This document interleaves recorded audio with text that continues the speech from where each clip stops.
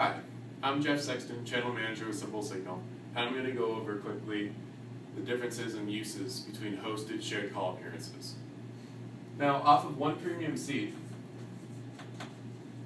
off of our hosted BroadSoft platform, you of course can use your work phone, which is how most people would set up their premium seat today. But in addition to just having your work phone set up, you can also set up shared call appearances to have other lines mirror that same feel, that same uh, call pattern. So you can have one number that can ring multiple devices off of multiple applications. So off of this shared call appearance, off of our one premium seat, I have my work phone working today. I can also go in and add my iPad.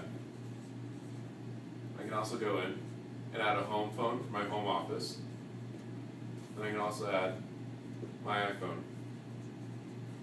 So now, no matter where I am, I can turn on any of these devices as I see fit, and I can go ahead and have anybody tangent dial me, extension dial me, as well as have functionality in and outbound so I can transfer calls to coworkers or likewise get calls transferred to me and have them ring any device I'm currently working on.